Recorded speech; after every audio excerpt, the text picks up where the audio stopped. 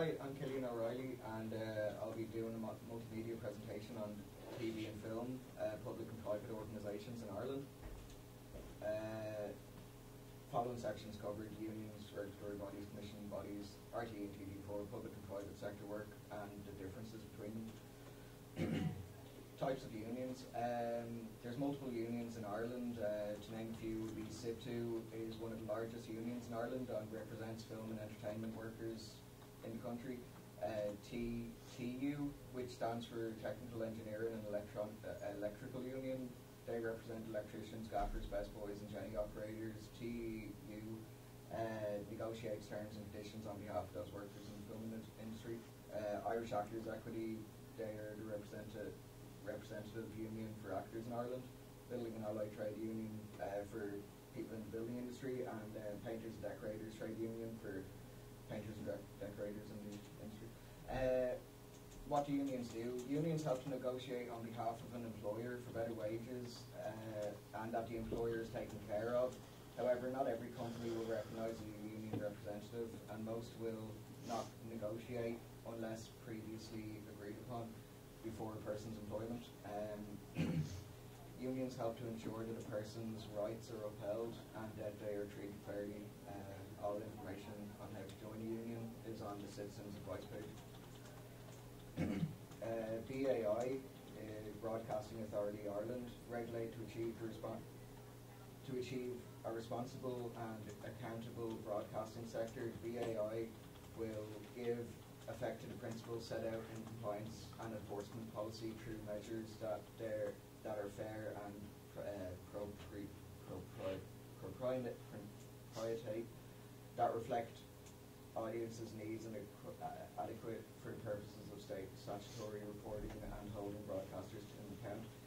Uh, the 2009 Act assigns investigate, uh, investigative powers to BAI, and in particular, BAI can initiate an investigation for non-compliance with the terms of the broadcasting contract under Section 50 and or breach of the broadcasting codes and rules under Section 53. uh, commissioning bodies in Ireland. RTE fund many different projects to expand on their programming schedule.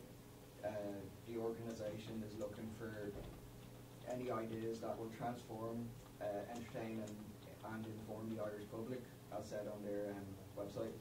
Uh, they have three different genres, uh, genres in which should be used when looking to pitch a particular script.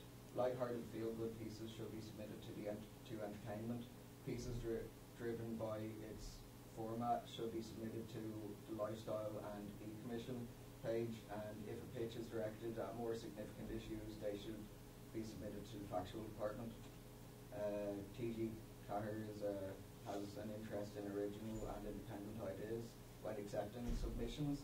Uh, they hold two rounds throughout the year where they hold a day for people to submit ideas for shows. And on their page, they ask that people submit ideas for longer running series or slash mini series rather than one-off episodes, and uh, to broaden ideas for genres when, when pitching a script.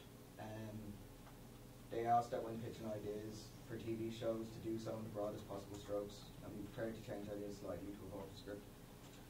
Uh, public work sector. Um, the public work sector would be companies who are funded and in a way owned by the government. Uh, examples of two companies are RTE and TG4, which I've uh, just mentioned.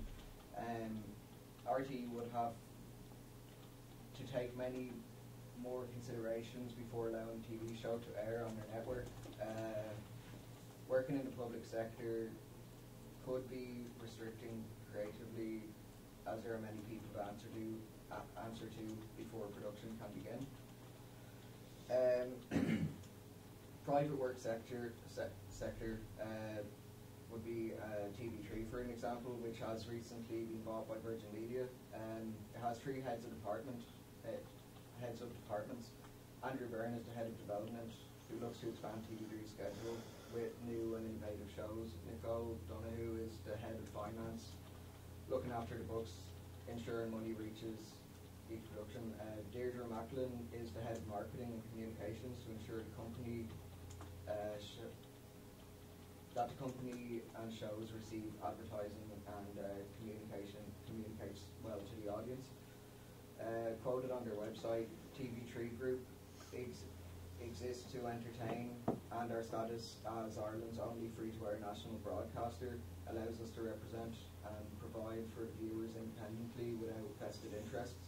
So uh, they boast the fact that they uh, don't have, they wouldn't be um, biased towards anyone who's uh, got anything to do with their company. Um, private companies are given more freedom and have no vested interest, which may be so for tr- TV3, but may not be true for every Good morning, sorry for privately disturbance. owned station. Could the owner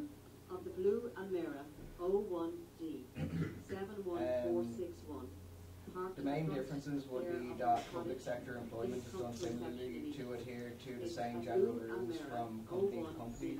However, private employment standards vary and each production's rules are decided by the individual in charge of the production or department. Uh, between pay differences on um, Glassdoor, uh, it seems the public paying jobs are slightly less than private paying jobs. For example, RTE producers start on 35 to 38k a year, and uh, working as a producer for TV3 starts at 39 to 42k a year.